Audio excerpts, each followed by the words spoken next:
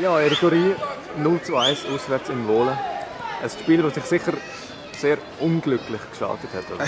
Ja, ähm, unnötige Niederlage, aber ähm, im Ende kann man von unglücklich äh, wieder auch nicht nur sprechen, weil wir haben äh, nicht äh, genug Power und nicht genug ähm, ja, das Tor wohl über der Linie drücken. Ich denke, aufgrund der zweiten Halbzeit hätten wir uns das verdient, ein, zwei Tore zu machen. Wir haben sie eigentlich äh, 45 Minuten lang äh, in, in, in, Grund und Boden gespielt und gerannt, aber natürlich, da, um was es geht im Fußball, ist um die Tore und die haben wir nicht gemacht. Obwohl ein paar, ein paar Möglichkeiten da waren, ein paar gute Freistoßsituationen. Ja, und dann, dann muss man heute die Qualität haben, dass man da ein, ein, Tor macht. Das ist nicht passiert. Und die erste Halbzeit war so eine 0-0-Partie, äh, wo jede, beide Mannschaften sich an der, an der Terrain haben müssen, an der Platz haben müssen gewöhnen, weil der war sehr schwierig zum, zum Spielen, weil er seifig war und kein guter Stand gewesen ist. Ja, und dann natürlich kriegen wir 30 äh, Sekunden vor der Halbzeitpause natürlich das 1-0. Das spielt dann in der Karte. Aber das kann immer passieren, einmal ein Tor. der zweite Halbzeit haben wir gezeigt, dass wir Gas gegeben haben, dass, wir, äh, dass sie alles gegeben haben. Aber schlussendlich hat uns das Tor gefällt. Wie kommt es, dass man in der Offensive so harmlos agiert tut äh, in dem Spiel?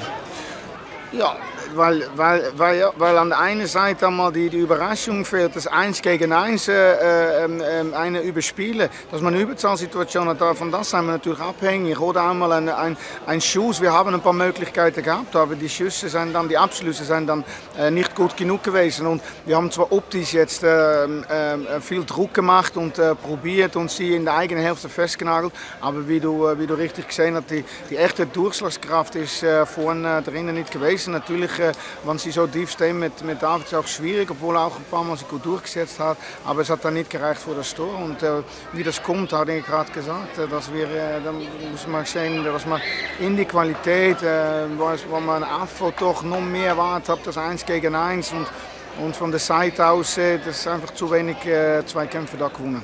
Ja, Franz Burgmeier, 0 zu 1 in Wohlen ein Spiel, das sich sicher sehr unnötig und sehr unglücklich geschafft hat. Ja, voll. Ich glaube, wir hatten ein bisschen Probleme um ins Spiel zu kommen. Haben uns aber nach Viertelstunde, 20 Minuten gefangen und sind nachher voll im Spiel gewesen. und äh, sind nachher zwei, drei Mal selber äh, nachtragen, 1-0.